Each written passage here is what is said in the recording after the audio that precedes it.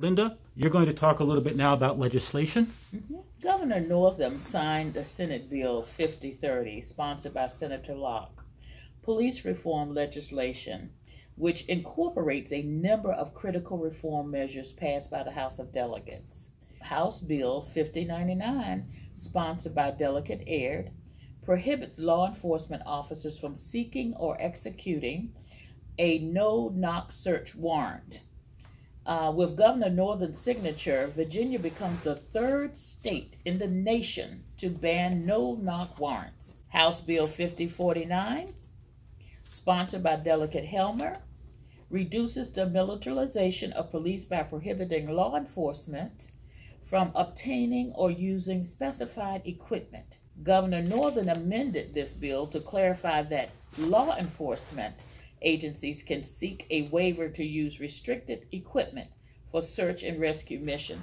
Bill 5029, sponsored by Delegate McQuinn, requires law enforcement officers to intervene when they witness another officer engaging or attempting to engage in the use of excessive force. 5039 was sponsored by Delegate Carroll Foy, limits the circumstances in which law enforcement officers can use neck restraints. That's very important. Bill 5069.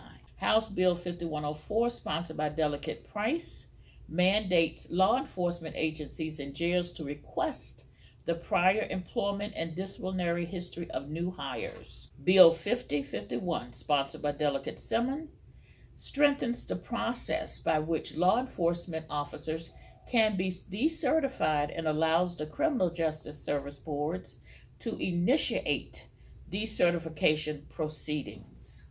Bill 5108, sponsored by Delegate Guzman, expands and diversifies the Criminal Justice Service Board, ensuring that the perspectives of social justice leaders, people of color, and mental health providers are represented in the state's criminal justice policy making. Governor Northam signed Bill 55, 50, 55 and Senate Bill 5035, sponsored by Leader Herring and Senator Hashmi, respectively, which empower localities to create civilian law enforcement review boards.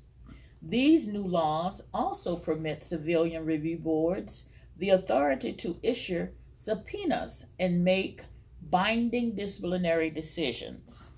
House Bill 5045, sponsored by Delegate Delaney, makes it a Class 6 felony for law enforcement officers to carnally know someone they have arrested or detained. House Bill 5109, sponsored by Delegate Hope, creates statewide minimum training standards for law enforcement officers, including training on awareness of racism, the potential for bias profiling, and de escalating techniques. Senate Bill 5014, sponsored by Senator Edwards, which mandates the creation of minimal crisis intervention standard training standards and requires law enforcement officers to complete crisis intervention training.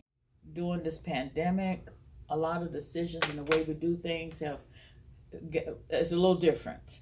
But I also am grateful that we have been all working together as, most, as best we can to try to keep our community safe and to keep um, legislation going through.